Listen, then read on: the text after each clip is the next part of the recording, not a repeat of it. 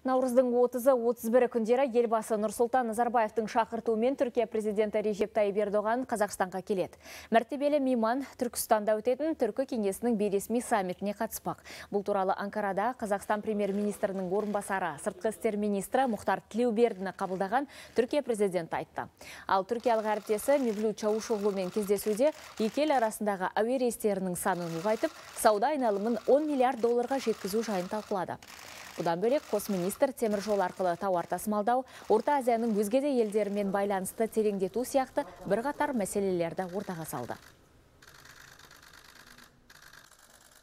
Тәуелсіздіктің ақтаңы атқаннан бастап, түрік компаниялары Қазақстан экономикасының түрлі салаларында келе бастады және қазір олардың қаржыландыруымен 2700 жуық кәсіпорын жұмыс істеуде.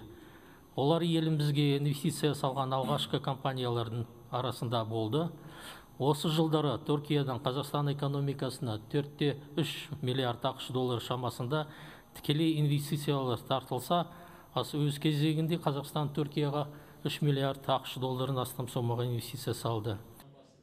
Сыртқы істер министрі сондай ақ түркиялық инвесторлармен де кездесті. Олардың қатарында елімізге инвестиция құюға мүдделі компания басшыларымен қатар бүгінде Қазақстанда ірі зауыттар салып, түрлі жобалар бойынша жұмыс істеп жатқан компаниялар да бар.